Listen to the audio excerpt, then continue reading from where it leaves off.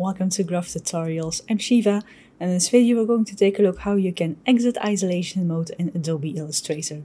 To get into isolation mode you just have to double click something and as you can see now I have this square but I cannot select the other square, move the other square or adjust the other square.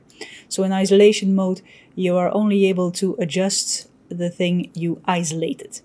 There are several options how to get out of this isolation mode. For first, you can double click anywhere outside of your selected item. So if I select this one, I'm now in isolation mode with the pink square.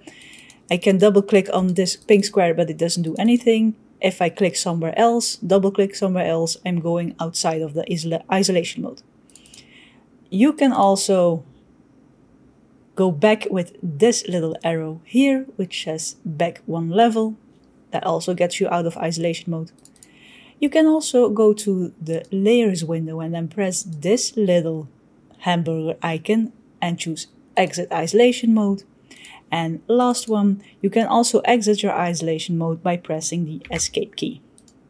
So that's a quick video with several options on how to exit your isolation mode if you enter that one in Adobe Illustrator. Let me know in the comments below if you liked the video. Also press the like button if you did. Press that subscribe button to see my future videos. And for now, stay creative and I hope to see you in the next one.